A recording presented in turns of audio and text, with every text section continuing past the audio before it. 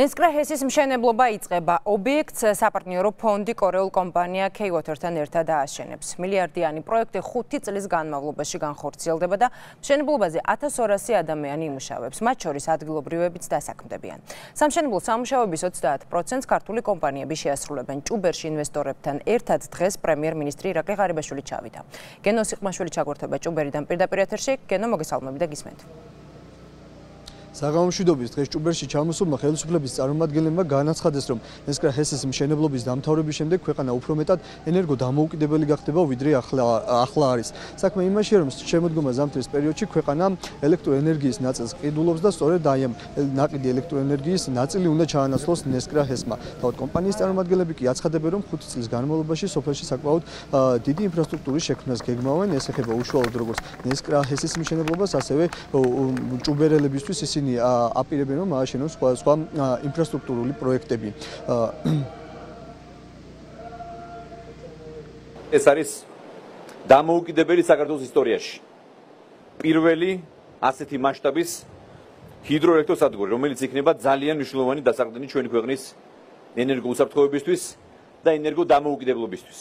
ნესკრაჰესის პროექტის ჯამური ინვესტიცია გახლავთ 1 მილიარდი ამერიკული დოლარი. ძალიან მნიშვნელოვანი პროექტია, ეს იქნება 280 მეგავატის სიმძლავრის ჰიდროელექტროსადგური. ძალიან მნიშვნელოვანი იმ თვალსაზრისით, რომ ეს დამატებით ახალი სამუშაო ადგილები, ძლიერი ენერგეტიკა, ძლიერი ენერგეტიკა ნიშნავს ძლიერ საქართველოს ეკონომიკურად, ეკონომიკურად ძლიერი საქართველო ეს არის ძლიერი საზოგადოება, ძლიერი ხალხი და ამას მივესალმებით რა თქმა უნდა. საპარტნიორო ფონდი წელიწადნახევრის განმავლობაში მუშაობდა ამ პროექტის განხორციელებაზე და ჩვენს პარტნიორთან ერთად, K-Water-თან ერთად მივახციეთ იმას, რომ წელს ამ პროექტის განხორციელება სვანეთის შესაძლებელი იქნება.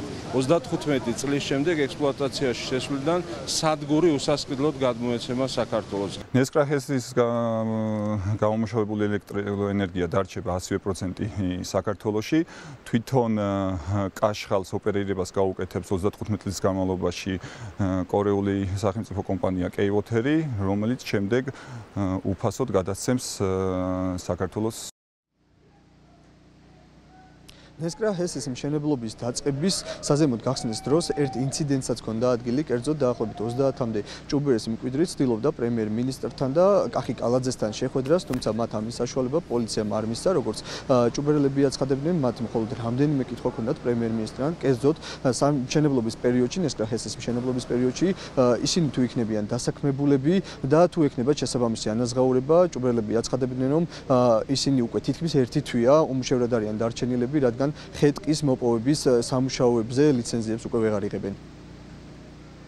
გუშინ ვიცი რომ იყო გარკვეული ადამიანების დაჯგუფება, რომელსაც ჰქონდათ გადაკეტილი გზა და მათი მოთხოვნა იყო ხეტყის ჭრასთან დაკავშირებით დაერთვათ ნებართვები და დაიშვათ ნებართვები. თუ არაპირებ რომ შეხვდეთ ამ ადამიანებს. ახავთ ახლა. ხინდო და ინვესტორებთან შეხვედრა, ელემენტარული პასუხი გაგვცენ რა ხდება, რატო არ ხვდებიან ხალხს? აი ყველაზე მინიმუმს ვითხოვთ. პირადად გვინდა ინვესტორს კითხვა დაუსვათ, ადგილობრივები არიან თუ არა მხედველობაში, რომ დაგვასაქმონ. მეორე, თუ კი დასაქმდებიან, ხელფასი მინიმალური რა იქნება, მაქსიმალური რა იქნება. რა გვაინტერესებდა რა გველოდება ამ ხეობას?